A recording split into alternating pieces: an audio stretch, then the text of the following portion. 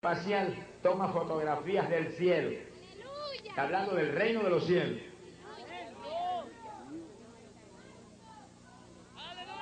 ¿Le fue el gozo? ¿Qué le pasó? Sonríase y alabe a Dios. Eso no se había visto nunca antes. Que tomaran fotografías del reino de los cielos, una nave espacial. Pero lo más grande del asunto es que es una nave espacial rusa. Miren lo que dice aquí. Un científico alemán, un astrofísico alemán que trabaja con los rusos hace como 10 años. Se llama el doctor Kurt Bauer, astrofísico.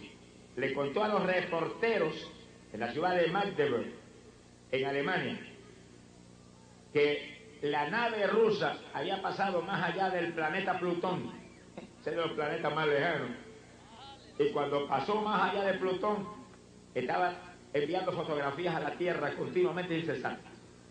Y el científico ruso, científico alemán, contaba a estos reporteros que cuando esa serie de fotografías llegaban a la Tierra, de pronto la oscuridad típica del espacio exterior que venía en la fotografía comenzó gradualmente a dar lugar a la presencia de un túnel de luz con colores como el del arco iris. lo ¿qué le ama?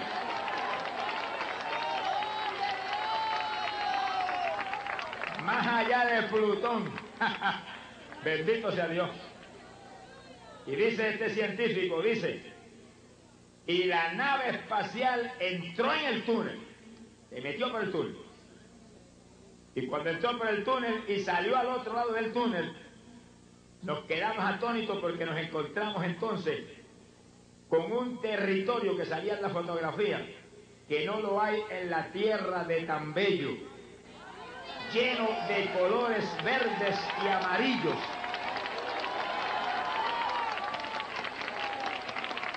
Mi alma te alaba, Jesús.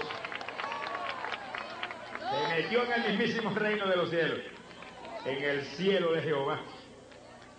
Dice, y a la distancia pudimos ver en ese territorio personas, gente, que comenzaban a entrar por las puertas de una enorme ciudad que tenía murallas y que literalmente resplandecía bajo una intensa luz dorada.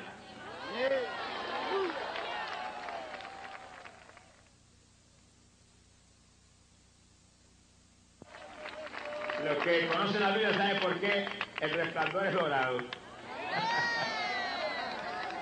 si usted no lo sabe, amigo, porque esa ciudad es de oro toda, es la nueva Jerusalén, la ciudad del cielo. ¡Ay,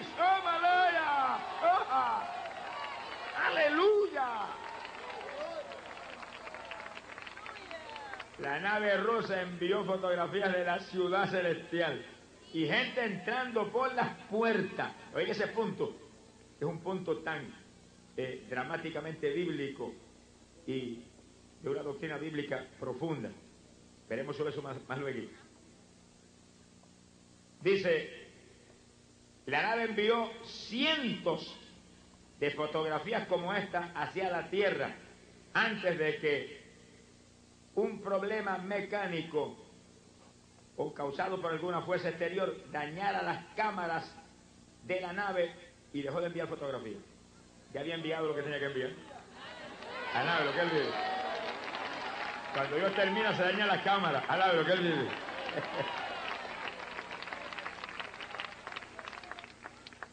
Dice el científico alemán, los oficiales rusos no confirman para nada esto, pero tampoco se atreven a negarlo. Porque el doctor Bauer, el científico alemán, hace más de 10 años que está con los rusos, goza de una confianza tremenda con ellos. Y si él dice algo, no es fácil contradecirlo. Mi alma te alaba, Jesús. Ahora, el doctor Power dice que los soviéticos consideran la fotografía como un secreto de primera magnitud. Es un secreto de Dios, imagínense, al lado que él vive. Ese no es un secreto militar, es un secreto de Dios. Que le reveló uno de los secretos grandes a los rusos. Se ha glorificado el Señor Jesús. Ahora dice, pero ellos no tienen intenciones de publicar en el cercano futuro ninguna de estas fotografías. Y el científico alemán dice estas palabras. Dice, como ateos, que son los soviéticos, son muy sensitivos a cualquier conocimiento de vida después de la muerte. Y están buscando todas las contestaciones antes de hacer ninguna clase de anuncio, dice el doctor Bau. Ellos realmente no estaban buscando el cielo.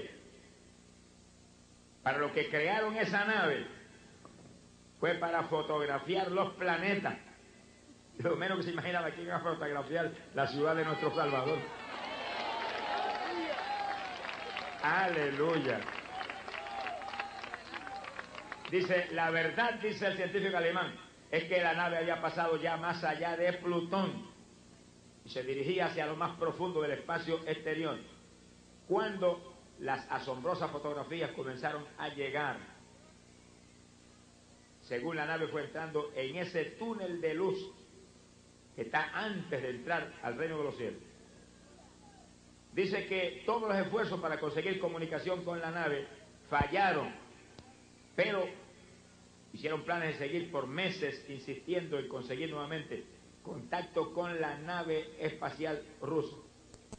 Y entonces dice un caballero francés que es un parapsicólogo, que se llama Marc de Gois, dice que Realmente es asombroso las declaraciones del doctor Bauer, dice ese caballero.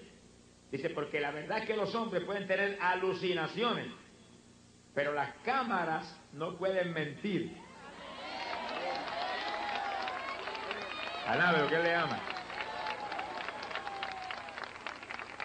Y entonces ese parapsicólogo dice, y lo más asombroso de todo esto es que las fotografías soviéticas muestran una experiencia similar a la que mucha gente que ha muerto y han vuelto a la vida han tenido y han relatado después de volver atrás otra vez. ¿Qué es lo que quiere decir eso? Que mucha gente que ha muerto, cuando han resucitado, han vuelto otra vez a la vida, cuentan que estaban por un túnel de luz y cuando iban llegando ya a lo profundo del túnel, a punto de salir al otro lado, lo volvieron para atrás de nuevo. En una campaña en la ciudad de Nueva York tuve una experiencia con una mujer que se nos murió en la campaña. La trajeron moribunda con cáncer, la pusieron ahí frente a la plataforma y cuando comenzamos a orar por los enfermos, ahí se murió. La oración estaba con tanta unción que se murió. Alabro, que Dios le ama. Cuando se murió, que yo vi desde arriba, que cayó la cabeza así y colgó sobre el pecho. Y un jovencito, hijo de ella, se puso nervioso y se fue.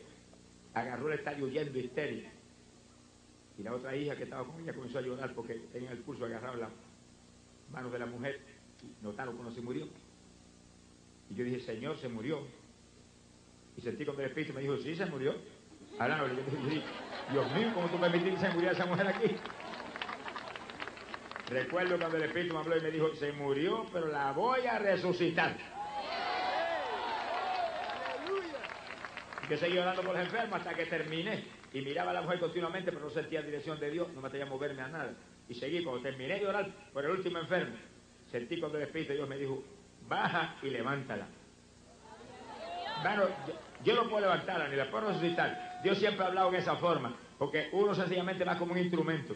Y es lo que la gente ve. Pero el que lo hace es el Espíritu Santo de Dios, todo, todo. Alábelo a Él. Bendito sea Dios. Y cuando yo bajé las escaleras sentí la unción de Dios cuando descendió sobre mí, que corría como corriente por mi cabeza. Yo sabía que era la unción para que no hubiera dudas, ni hubiera titubeos en ninguna clase, sino una fe de profunda seguridad que no impidiera a Dios hacer su obra. Y cuando agarré a la mujer por la mano dije, levántese, el Señor la sanó. Abrió los ojos, se sonrió conmigo, era una anciana, como 65 más años. Se puso en pie y comenzó a subir la plataforma conmigo tranquilita. Yo ni sabía que la mujer tenía un cáncer que la había destruido por dentro que no se podía mover ni caminar, nada. Caminando, echaba el brazo conmigo y subía la plataforma, se reía. Cuando yo le dije, el Señor mostró que se había muerto, me dijo, seguro que se morí. ¿Y cómo lo sabe? Me dice, porque me salió